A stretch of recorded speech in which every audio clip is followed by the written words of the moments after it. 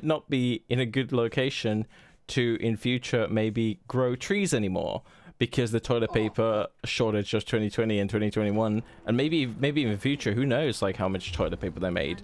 Like are we running out? I don't know. We haven't i haven't seen any stats on this. I i don't know anyone who's a professional on this. But like they were reading about this on the paper. So like they were like uh, doing, okay? So like they were reading on the paper. They realized, wow, this is paper too. It's like we use paper everywhere. So why? Maybe we shouldn't use. Why, why are we? why are we using this toilet paper instead?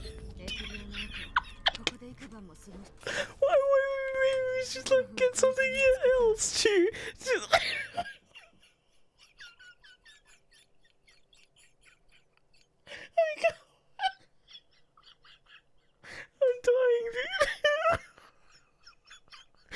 Cheers.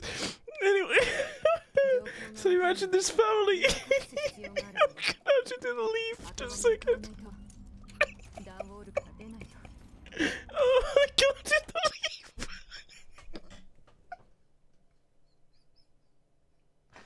oh, fuck. I can't believe you've done this.